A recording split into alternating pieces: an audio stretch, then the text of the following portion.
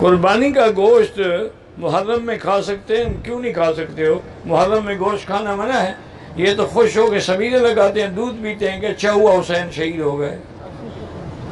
वैसे तकरीरों में कहते हैं, हुसैन प्यासा शहीद हुआ, तुम दूध पियो। ऐसी मखदूद कौम भी देखी है, तुम तुम भी रोजा रखो, प्यास मरो। अगर हुसैन से मोहब्बत है। समंदर में जो केकड़ा होता है, मैं नहीं जानता केकड़े को। अलबत् झींगा जो है, वो तो हलाल है। केकड़े का मुझे पता नहीं।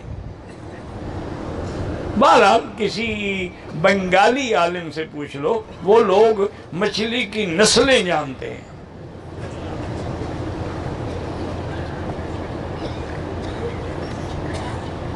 मुझे तालीम के दौरान मदरसे में दस देने का मौजू मिला है तो मुसलमानों को काफिर न कहें, न मलून कहें। ये कहें कि जो ये काम करेगा तो वो काफिर है, किसी का नाम न लें।